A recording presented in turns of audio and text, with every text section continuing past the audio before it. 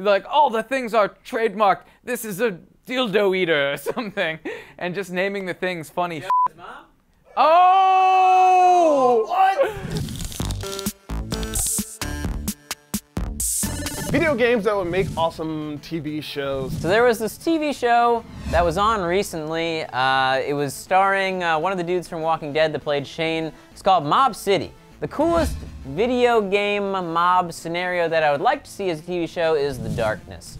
I think this is a perfect opportunity for me to mention Mass Effect. Now, Mass Effect, for those of you who may know, uh, almost became a movie or is still in talks to become a movie. And as much of a fan as I am, I say, nay, nay, that would be a horrible idea. It should not be a movie, it should be a television show. I think the TV show I would most like to see, based on a video game, Sir Hammerlock's Safari Adventure Pandora Time Magic.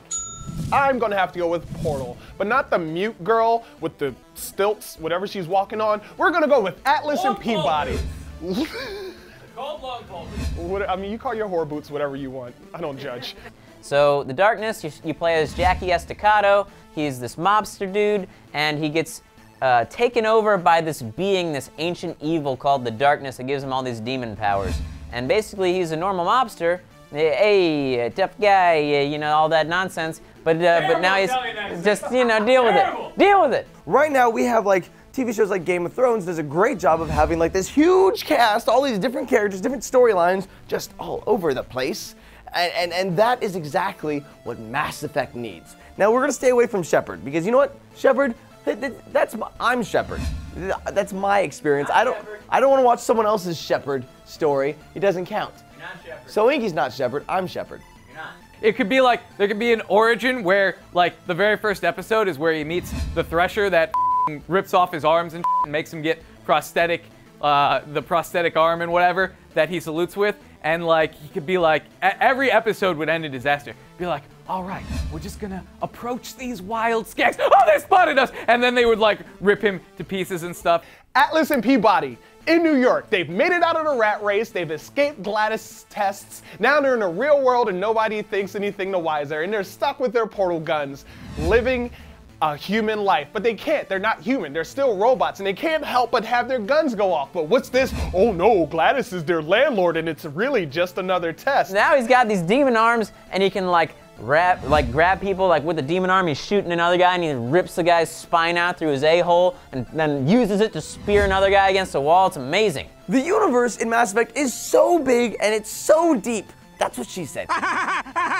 so you have so much room to expand on different alien races, different relationships, different characters. Sure, maybe we can have crossover of some of the other known characters. The other characters could make drop-in appearances. They could be like, "Oh, Sir Hammerlock, I don't think you should go over by that Rakk Hive." That would be like Roland or something trying to trying to warn him and be like, "It's fine. I'm a professional. I've got my silly hat on, and I'll just go over by this Rakk Hive." And then he just gets ripped apart again. And then you'd finally see why he settled down into a life of quiet NPCdom and sending other people to confront the terrible horrors of Pandora.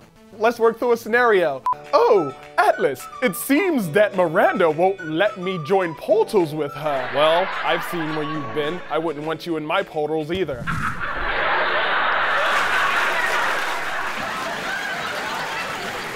It's got all of the drama of a normal mob thing, but then all of the awesomeness of anal spine removal and and other you know demon superhero things. It's a whole mind. It's an awesome show. It's got cool mob drama, cool superhero-y stuff. It'd be a great TV series. Uh, I hate to say HBO, but honestly, that's the best place for anything you want to be on TV because that's the only place that can actually realize it without like dumbing any of it down. Just the galaxy's so vast, you have so many different characters, you, we can have a lot of different storylines happening at the same time. Like, that is how you do Mass Effect. You need seasons upon seasons upon seasons of hours and hours and hours of content to be able to really just start to crack the surface that is the great Mass Effect universe. So I say, let's get it on HBO or something. This would be the perfect TV show for the good old fashioned sex sextaposition. Anytime there's story happening, guess what? Someone's banging Liara, or green alien boobs are all over the place. Is GLaDOS still a potato? GLaDOS is now her human form, Caroline. I don't like it.